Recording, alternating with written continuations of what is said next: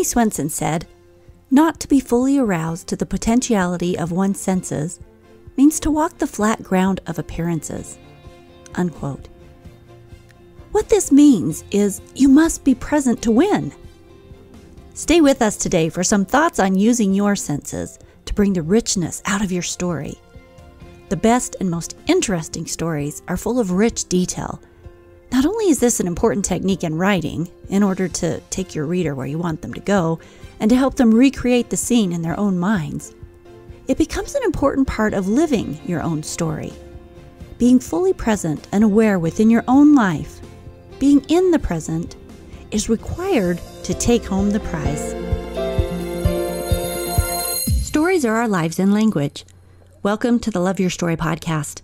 I'm Lori Lee, and I'm excited for our future together of telling stories, evaluating our own stories, and lifting ourselves and others to greater places because of our control over our stories.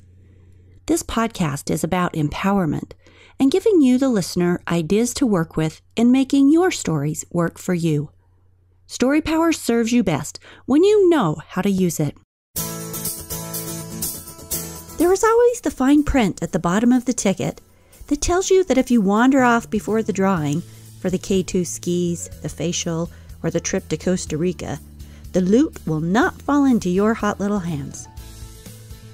Years ago, I had a large wooden sign. I mean, big. It was like six feet long, and it read, You must be present to win. I hung it proudly on my dining room wall.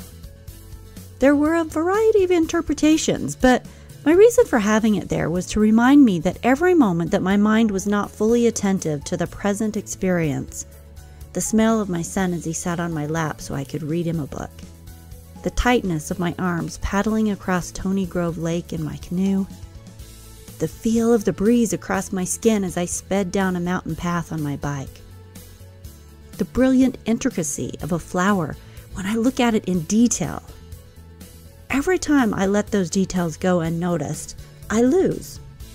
I lose the opportunity to take with me what that experience offers. I lose the opportunity to be most fully alive. I skim the waters of living instead of getting deep and real. Our senses sight, smell, touch, taste, hearing, and I add intuition these are the filters through which we get to interpret the world. Our senses help us connect with what surrounds us. There's a great deal of brain that is dedicated to our senses. This relationship between our senses and our brains is subjective. For example, it's been proven that to some people, cilantro tastes like a delicious herb, and to others, it has a soapy flavor. The receptors in our taste buds work differently for different people.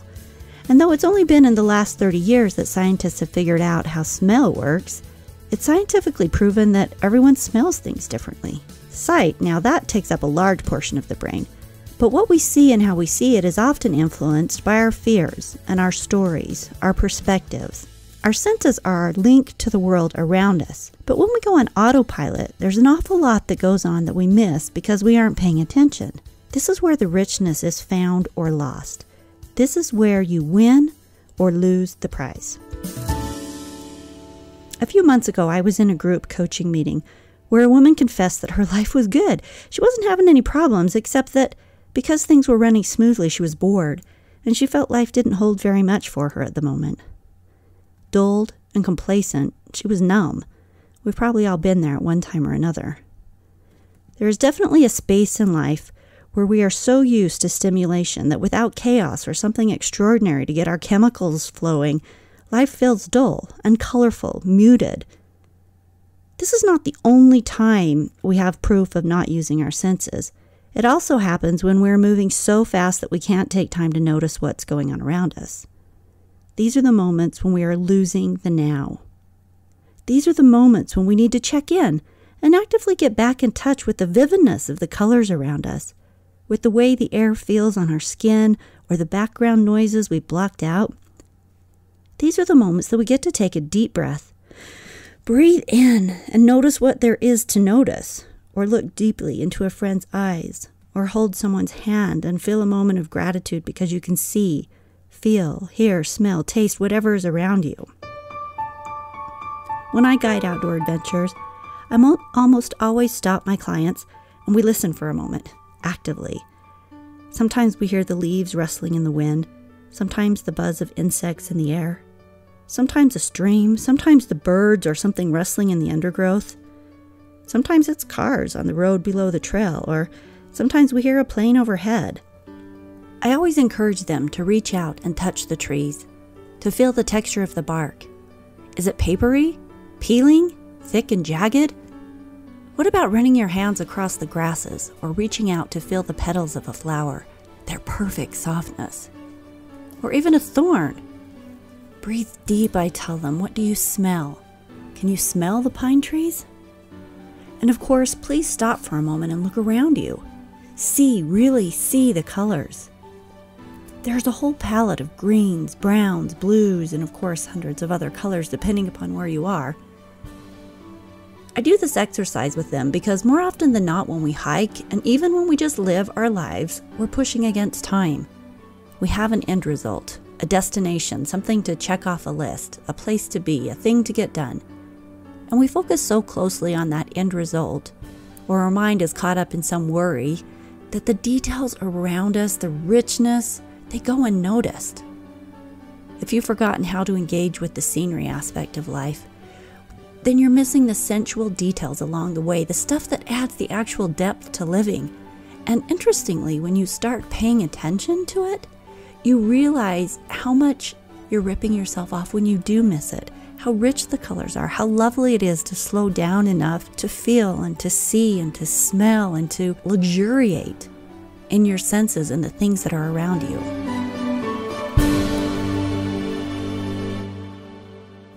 On a late night hike in the Tetons, moving through the moon soaked dark, I met with a herd of bolting elk. It came out of nowhere, their chosen trail no more than 10 yards in front of me, and I couldn't see any of them. They were stampeding through the Wyoming night, their shadow shapes pounded past my eyes. I froze in amazement when I should have run. I was on the edge of fear at their closeness, but their power was a magnet. In the dark, I was only able to hear the force of their movements as they vaulted a fence that stood in their way. I felt the vibration of the ground as their hooves pummeled it. I could see the outline of their bodies in motion just barely. But most potent was their smell the smell of raw elk, of sweat, of wild animal. It held me captive in the moment, mesmerized. And then they were gone. After they passed, I stood taking deep breaths, trying to keep that smell, the smell of that powerful, fleeting experience, of the wildness of elk. I stared hard through the darkness after them.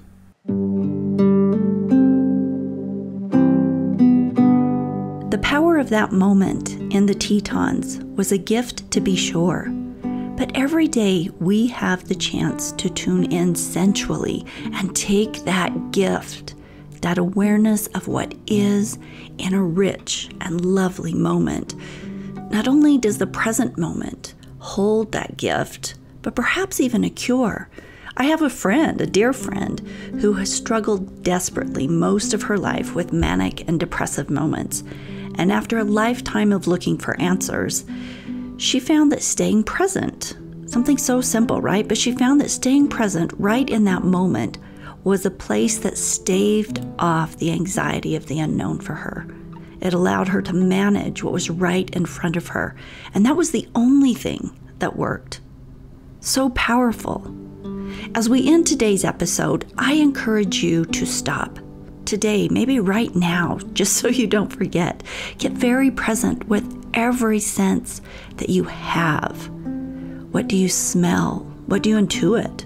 What textures can you feel? What colors brighten your day? When you pay attention to it, the colors always pop to me.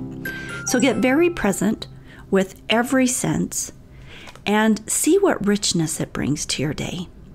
I would love it. Please, pretty please, share this episode with a friend or a family member, a loved one, someone that you want to help remind them of just this life tool of getting present. And we'll see you in two weeks for the next episode.